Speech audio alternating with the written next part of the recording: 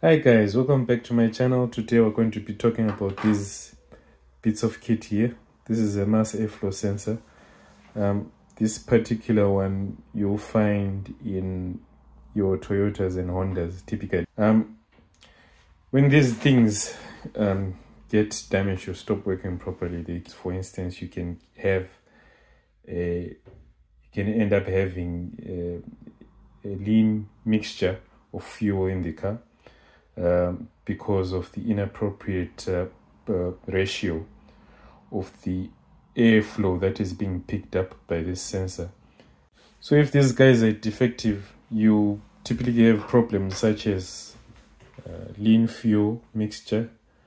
Um, you might have a rich fuel mixture, but for those who don't know, a lean fuel mixture means that you have got uh, a, a very small amount of fuel. Then a rich fuel mixture means that you have an ex excessive amount of fuel going through the engine at any given time compared to the normal air fuel ratio. Um, so in an, in excessive cases, you might even have an engine stall. For instance, if you've got a very, very lean mixture um, and, and all sorts of other issues. But I don't want to uh, I'm going to show you an easy way without having any complex gadgets of testing if these uh, devices are functioning properly. Um, the first thing we need to understand is the components of this thing. Inside there is an IC. You don't have to know much about, about, about what it what happens in there, but you've got typically these pinouts, and typically you've got five of them. Um, so on over and above that we've got that device there. That is actually my thermistor. That's the temperature sensor. Um, so as you know um, amount of airflow mass airflow basically that flows through at any given time is dependent on density. And density is affected by temperature. That's why we measure the temperature because the airflow that is detected by the sensor at zero degrees is not if if if we will typically measure uh, a different reading at let's say 40 degrees celsius because of the changing uh, density in the in the airstream. That's why you've got that temperature sensor there. So apart from the temperature sensor there is the actual airflow sensor. I'm not don't think you can see well there's that shiny bit inside there. That is actually your your your, your flow sensor. And it's using this particular one uses a principle of um, thermodynamics in which there's a part of it that is heated by an electric current. Then there's the sensing bit which detects how much the the the airflow is cooling uh, as it passes through then it converts that to an airflow. So that's the principle of operation of that uh, tiny airflow sensor. So airflow sensor inside temperature sensing device for for mass for density compensation outside. Then you've got a complete um, uh, IC inside as well to convert those readings to flow reading. Then on the pinouts, you, you the sensor is facing this way. Um, the sensing bits down. Uh, then the head up. Typically, you have, if I count the pins from my right hand side, which is this pin, that becomes my pin 1, my pin 2, my pin 3, my pin 4, my pin 5.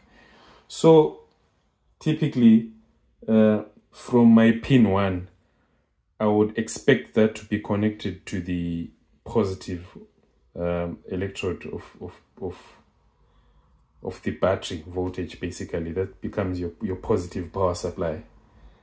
Then for the second that becomes my negative uh, from the power supply.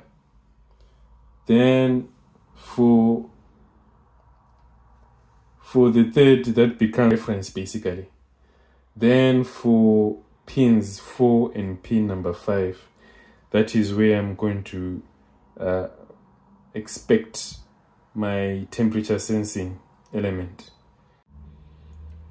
one thing that you'll need to do to test your temperature sensing element in the mass flow meter is your multimeter your multimeter measures your voltage your resistance your current uh, basically the one that I have right now I'm going to use it to measure the resistance that I expect from this temperature sensor. Because like I mentioned that resistance will vary with temperature. Uh, that resistance tends to uh, it tends to increase as the temperature decreases. Then the resistance decreases as the temperature increases.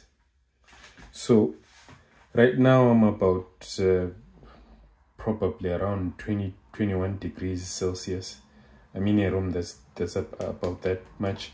So for the toyota ones there's you can look up some some tables online or wherever. You you can, you can find some resistance tables for this but typically at around 20 degrees celsius i would expect somewhere in the region of about uh, i would say 2.1 to around 2.7 kilo ohms. Um kilo being a thousand. So that, that, that that's so 2.1 is just two is 2.1 times a thousand ohms basically. That's 2100 ohms. Um, that's 2.1 kilo ohms. So the first thing I'll do I need to check if my sensor is at the correct temperature. I'll put my meter there then I'll check that I've connected. Yeah this this is my this is the resistance bit. Terminals of it so like i said i say terminal 4 and 5 are my my resistance terminal for the temperature sensor. So what am i getting there? I'm getting about 2.1 so this one is is more or less perfect this this is what i expect to be the resistance of that I, I get from that sensor right now. Then to just to demonstrate to you, I'm going to heat up um, using a, a, a, a blower. Then you'll notice what happens to that resistance. Just take note of that reading. We say 2.1 kilo ohms. Then we'll see what happens when you heat it up. Uh, but you should be careful. I'm going to use a blower, but I, need to make sure that I don't damage the sensor. Just a bit. Alright, so here's my blower there. I'm going to set it off. Um, you've got you've got 50, 100, 140. I'm going to set that up there. That's up about between 50 and 100 in a car you, you obviously you, you, you don't expect your temperature to be in the hundreds. Um, because that's your airflow uh, temperature.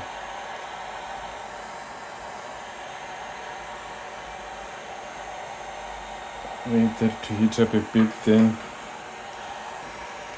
you have 2.1 there. Let's see what happens when I heat and you see you've got you a, a sharp decline in the kilo ohms? So let's see where when it gets to stabilize. Should stabilize around 50 degrees.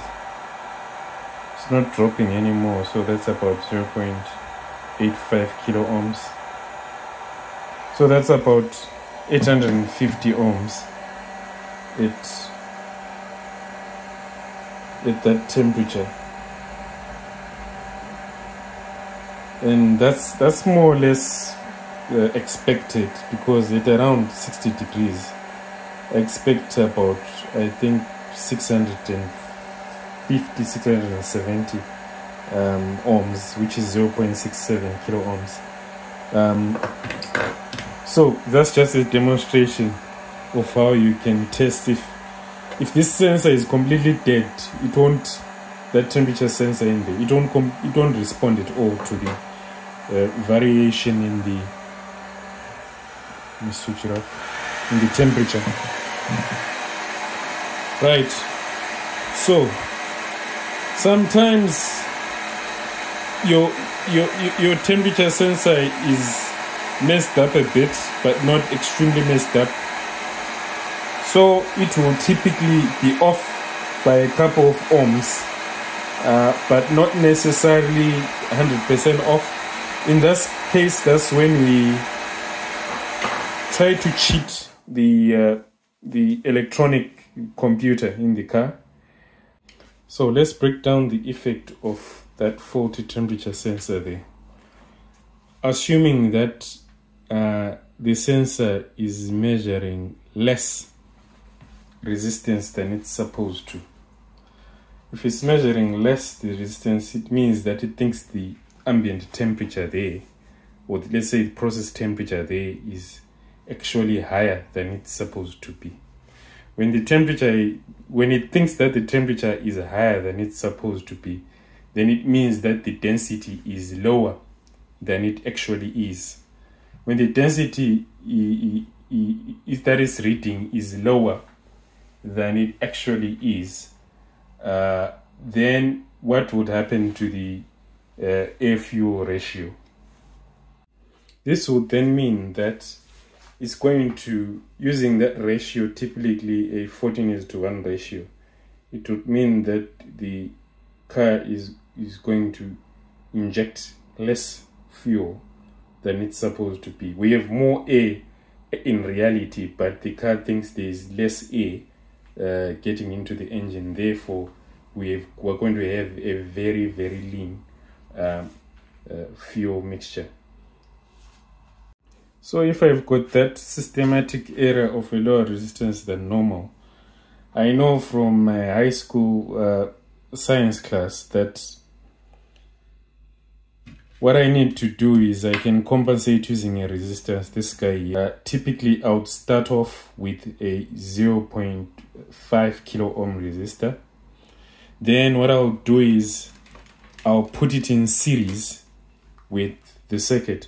This is known as a, a Wago connector, by the way.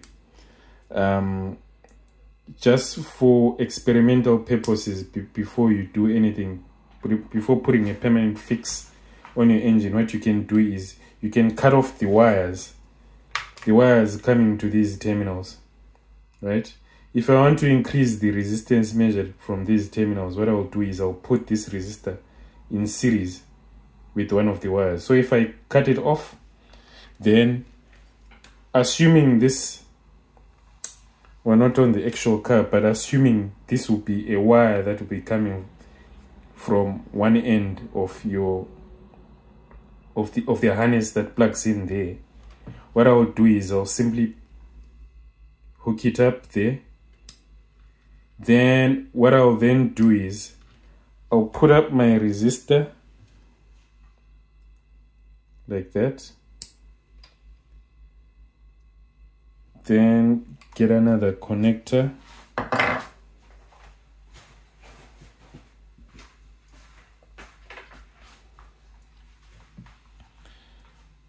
This is a temporary fix because it will be experimental to see how your engine will behave um, with this resistance and if you're not satisfied you can always change the resistance to a higher or lower value depending on your results. So in effect, these two wires represent the, the single wire on pin number 5 of your harness.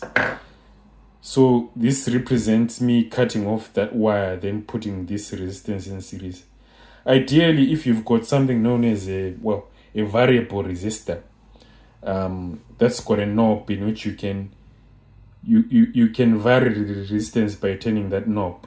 Uh, it becomes easier for you because you can experiment with that while you're turning your resistance. But as for my case, if, if I don't have that, I'll just, if I've got a, a, a pack, or a resistor pack, um, that I found in my garage. I can just plug, put this on, put it off by just taking these connectors on and off as I please until I'm satisfied. but typically you'd start off, start off like I said with a 500 ohm but this is not a 500 ohm by the way. Um, I'm just demonstrating this for you what you'd do in reality. Um, so you start off with that check the performance of your, of your car. Then if there is more resistance than is supposed to be measured by that temperature sensor what you do then instead of cutting one wire on terminal 5 or terminal 4 you need to cut both wires off.